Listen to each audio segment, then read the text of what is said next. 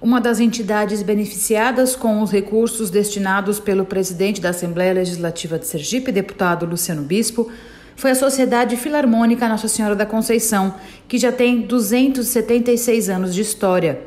Além das aulas de saxofone, trombone, violão, dentre outros instrumentos, eles têm também uma luteria, que é o local onde instrumentos de corda acústicos como violinos, violas, contrabaixos e violoncelos são confeccionados. Estes instrumentos irão para as aulas de música aqui da Filarmônica. Cerca de 90% dos custos da instituição são cobertos com repasses públicos, como as emendas dos parlamentares.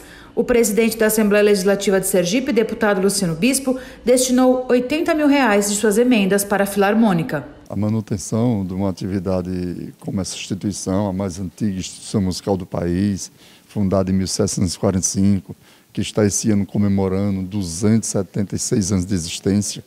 O ponto final dessa comemoração é no próximo dia de dezembro, que é o dia da Nossa Senhora da onde a gente vai celebrar uma missa aqui no pátio do Instituto, mantendo toda essa beleza, mostrando para a população de Itabaiana, do estado de Sergipe, o que é a Sociedade Filarmônica Nossa Senhora da Conceição. E essa sobrevivência de toda essa estrutura, de toda essa beleza, graças a parceiros, a pessoas aqui da cidade abnegadas, a exemplo do deputado Luciano Bispo de Lima, presidente da Assembleia, que doou uma emenda parlamentar recentemente, que veio cair muito bem neste final de ano.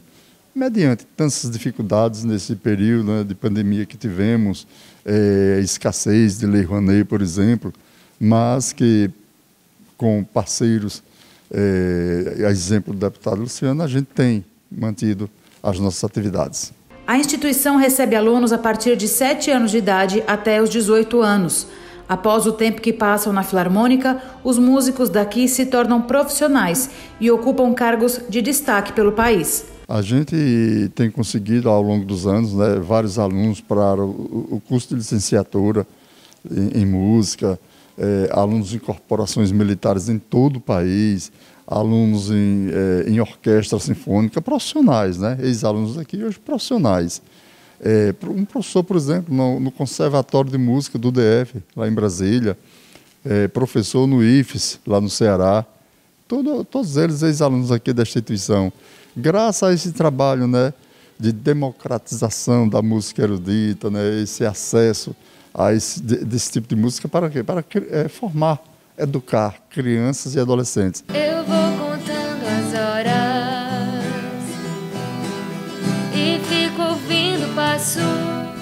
Itabaiana é município cheio de potencialidades, inclusive a cultura e a arte. Aqui na Sociedade Filarmônica Nossa Senhora da Conceição, cerca de 300 alunos têm aulas gratuitas de música. Neste momento, eles estão escrevendo o futuro.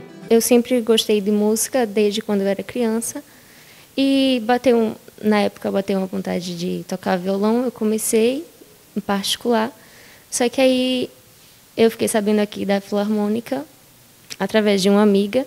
A amiga me recomendou esse lugar e estou aqui há cinco anos, estou amando. Você acha legal ter, um, ter acesso à música a, através aqui do Instituto? Sim. Por que você escolheu esse instrumento? Ajuda de outros professores e foi Gostei. Quando está em casa, treina também? Quê? Quando está em casa, você treina também? Sim. Realmente é o que você quer fazer na sua vida? Sim. O presidente da LESE, deputado Luciano Bispo, também destinou emendas para a quadrilha Balança Mas Não Cai, natural de Itabaiana. Seu fundador, Salomão dos Santos, até ganhou uma estátua sua em um dos canteiros da cidade.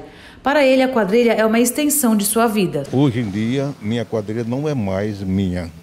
A quadrilha é um patrimônio cultural de Itabaiana, que apresenta nos Arraial, em disputas, apresenta em outras cidades onde tem concurso, a gente vamos lá participar. É, dependemos de ônibus, dependemos de uma porção de coisas. Isso depois da quadrilha pronta. E então, onde estou apresentando a quadrilha, que eu sou o cantor, é minha filha marcando lá e eu cá com o repertório na mão para cantar.